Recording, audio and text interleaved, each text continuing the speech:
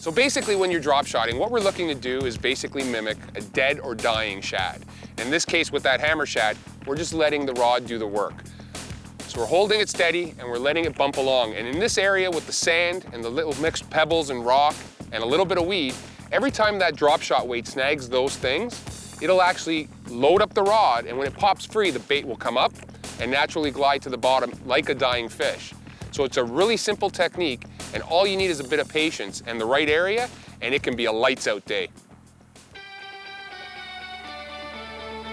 There's one right there.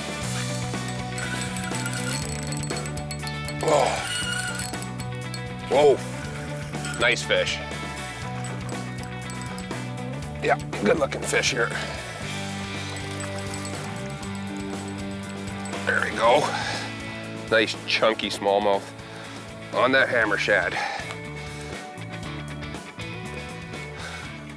You know, you really can't get much better than this. We're out here and we are absolutely beating them down on the drop shot rig. And it's so much fun. And again, that hook is just exactly where you want it. In this case, right in the corner of the mouth. Pull that out. Great looking fish, fat, feeding on shad. And they are making this day so much fun. We'll get this one back in the water.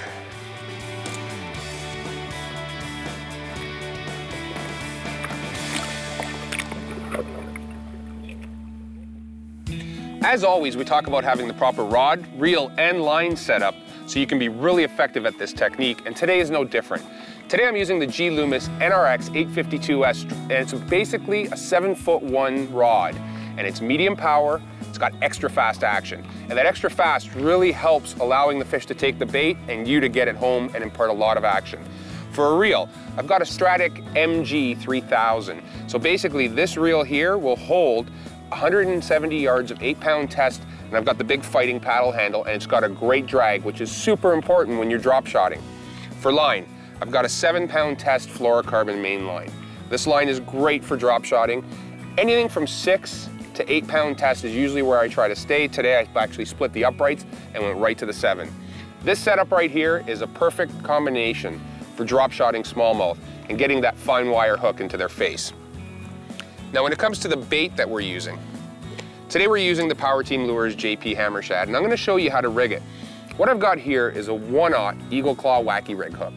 And the bait, what you're gonna do is, you can rig it two ways. You can either put it right through the bottom and out through the top and rig it like that, or the way I like to rig it is I'll actually go through the nose and come out in between the eyes about a quarter of an inch behind them.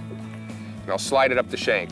So that bait's gonna sit like that. Any movement I put is gonna translate right into the mid body of this bait because it quivers like crazy. And for a lead, I'm using anywhere from 14 to 16 inches of line down to a quarter ounce drop shot weight. It's a very simple setup, very easy to use, and very effective. To order WFN, contact your TV service provider today. WFN, it's a great day for fishing.